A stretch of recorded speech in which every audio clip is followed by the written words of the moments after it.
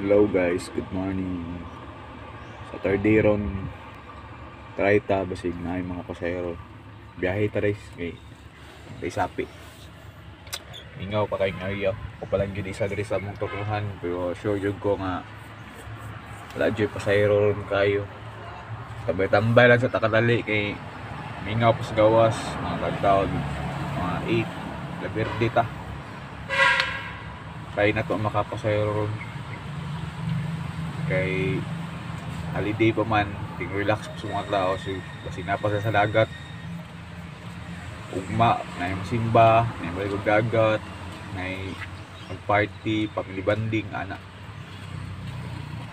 Di ko sure kung maka-income matag sakto ron pero try na to ah, mingaw pa kayo. Pirting mingaw alas 7 na.